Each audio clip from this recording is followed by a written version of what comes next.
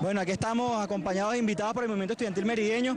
Eh, como he dicho, creemos que esto es un orgullo del movimiento estudiantil. Tenemos que seguir el ejemplo que Meri ha dado, eh, a pesar de estos fallecidos que lamentamos y estamos aquí lamentando estos estudiantes que han fallecido por culpa de la violencia. Nosotros estamos aquí dando un espaldarazo al movimiento estudiantil merideño, dando un espaldarazo al movimiento 13 de Nixon Moreno, que también ha tenido que ser víctima de esta persecución de parte del gobierno nacional. Y ya vemos cómo intentan interpelar no solamente a los estudiantes, sino distintos miembros de la sociedad civil merideña. Y a ellos les decimos, los estudiantes y los jóvenes estamos con ustedes. Nosotros estamos defendiendo la democracia, nosotros estamos defendiendo la constitución y nosotros llamamos al gobierno nacional a que retroceda. No a que retroceda como lo ha hecho con la luz y el agua, sino a que retroceda en su avance en contra de la democracia, en contra de la dignidad de los venezolanos. Nosotros creemos en el respeto a las ideas, nosotros creemos en el respeto a la democracia. Y si este gobierno pretende convertirnos a todos en comunistas y violar lo que significa la constitución nacional, aquí se va a encontrar con un movimiento estudiantil que va a ir hacia adelante, que no va a permitir que ellos avancen en el totalitarismo.